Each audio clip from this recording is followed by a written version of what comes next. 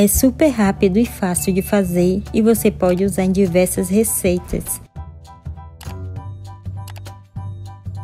Vamos ao passo a passo. Em uma panela, coloque 100 gramas de açúcar, 100 gramas de polpa de maracujá fresco, aqui tem cerca de 2 maracujás, e 100 ml de água. Mexa delicadamente todos os ingredientes.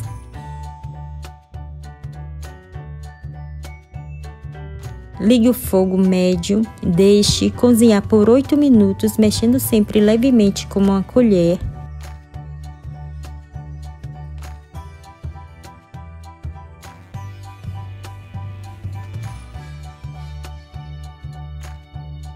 ou você pode mexer a panela assim desse jeito para não açucarar e para não dar o ponto de fio. Quando começar a fazer bolhas grandes, já está no ponto de geleia. Desligue o fogo, transfira para um recipiente de vidro